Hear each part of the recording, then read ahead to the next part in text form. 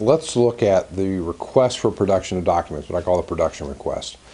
As we talked about earlier in the overview, this document is a, a tool to, to find actual documents. You're not asking questions, you just want them to produce stuff to you. Um, and, and, what you're looking for is documents that, that you know you can prove that they don't have what they need or, or that you have what you need. So look at the sample production request that we have in the materials. The very first thing uh, again, if you notice, is the case style, like always, and, and that's going to be styled just like all the other pleadings uh, in the case.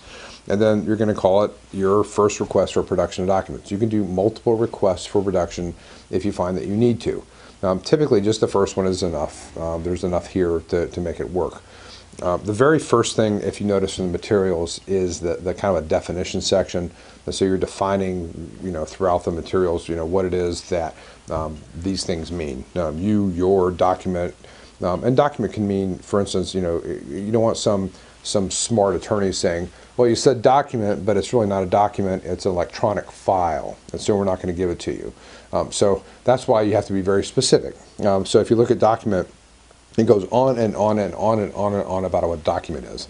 Um, and that means it's trying to cover anything and everything um, that you know you're looking for. You know, you're just looking for the material, that no matter what form it's in. All right, so the definition section is very important.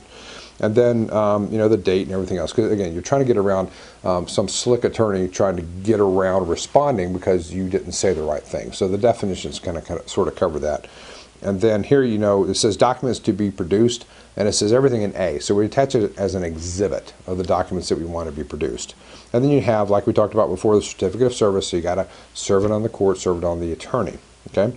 Now, Exhibit A, if you look here, um, the very first thing is all documents, etc., that a plaintiff standing to bring this case.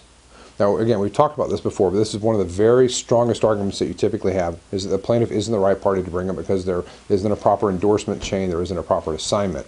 And so what we're looking for is anything and everything that is going to tend to prove that or disprove that. So that's the very first thing that's in the request, and you can read that yourself. Um, and then we're looking at um, things talking about the promissory note. You know, you know, so we're trying to get the basic documents of the foreclosure. Uh, number three, is uh, showing that they're the proper servicer. Number four um, goes to you know who actually owns the promissory note. And it goes on and on. So you're you're trying to establish your case or or say that their case is bad by the different documents. So what I want you to do is essentially just copy this production request. This is a pretty standard, pretty all-encompassing production request for the standard foreclosure case. All right. And it's not overly broad, it's not bad at all in any way.